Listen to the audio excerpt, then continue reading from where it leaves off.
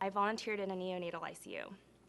And that summer, I met this beautiful baby girl who had complete intestinal atresia. That means none of her intestines were formed. And she couldn't be fed by mouth. She had to have a um, peripheral nutrition. And I remember thinking she was so hungry and she would cry in hunger a lot. And I remember holding her just as a volunteer as often as possible. And I remember falling in love with her and thinking that there was nothing else I wanted to do more in the world than to learn and to become a lifelong learner so that I could help patients like her.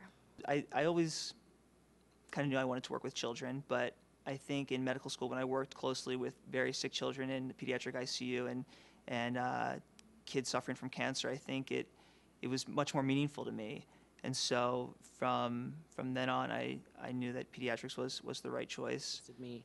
And then in terms of children and pediatrics, I was always very interested in the science of development. It was just amazing that every week, every month, this person is now almost completely different. Their physiology is different and keeps changing throughout the time that you know you see the patient. So it's one of the reasons why I chose pediatrics, medicine and pediatrics in particular. I get to play with kids all day long and give out stickers and hugs. It's the oh, best job.